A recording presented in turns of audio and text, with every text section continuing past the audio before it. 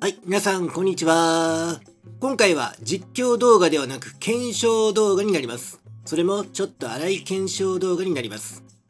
今回は現在私が所持している3種類のマイクを比較してみようと思います。今回この企画をする理由として、このご時世だからということが挙げられます。これからリモートワークやリモート飲み会でマイクを使うよという方、あるいは環境も変わったし実況を始めたいけどマイクどれがいいかなと検討されている方が非常に多いかと思います。けれど実際マイクの規格の数字だけではよくわからないなという方も多いと思いますので実際の音声を聞き比べることでどのような違いがあるかということを知っていただきこれからのマイク選びの参考になるものをご提供できればと思ったからです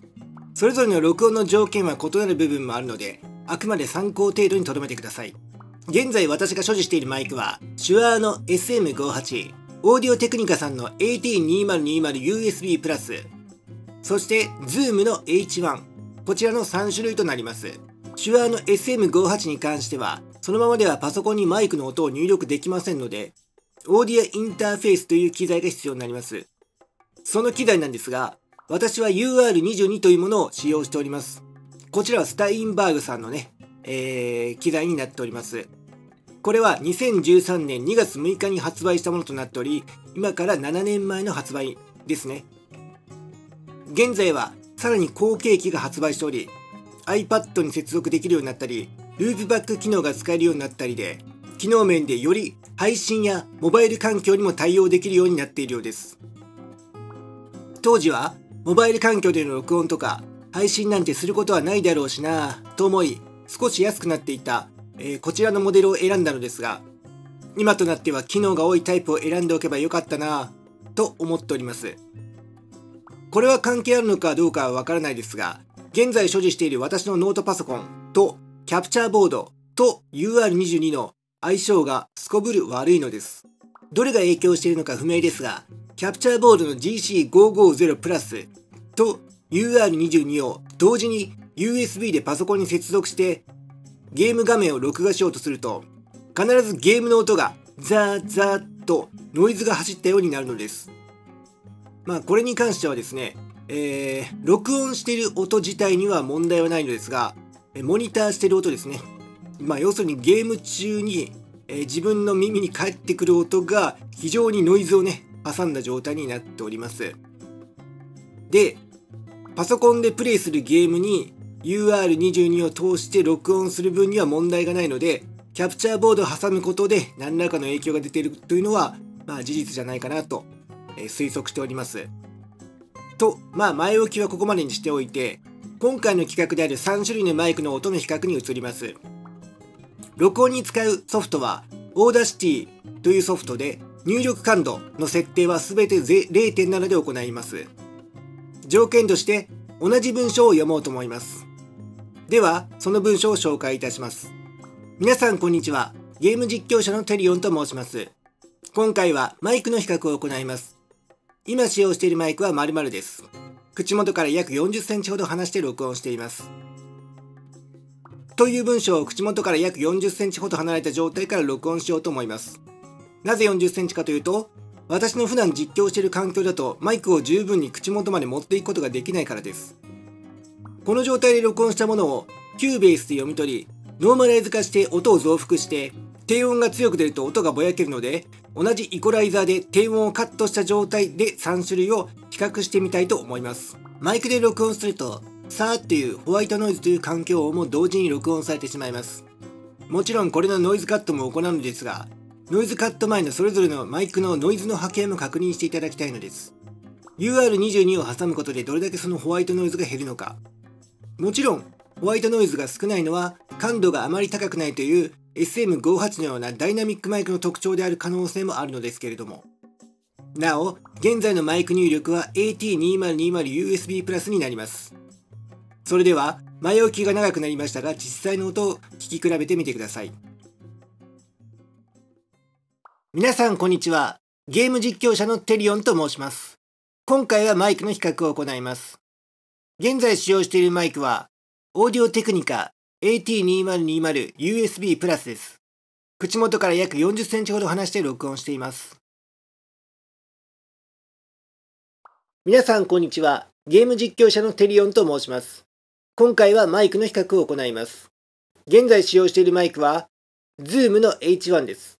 口元から約40センチほど離して録音しています。皆さんこんにちは。ゲーム実況者のテリオンと申します。今回はマイクの比較を行います。今使用しているマイクは、手話の SM58 です。口元から約40センチほど離して録音しています。さて、いかがだったでしょうか？それぞれのマイクの特徴が出ていたでしょうか？検証動画の条件では言いそびれていたのですが、声の通りを良くするために、イコライザで低音を削ると同時に高音域も多少上げております。もちろん全てのマイク音声に同じイコライザーを使用しています。音が潰れてしまうと比較ができないかもしれないので、コンプレッサーは使用していません。私自身も、こうやって3種類のマイクを同じ条件で聞き比べたことはなかったので、音質の違いに驚いております。まず、AT2020USB は、音質はいいのですが、自分の声と他の音も同時に拾っているような感覚があります。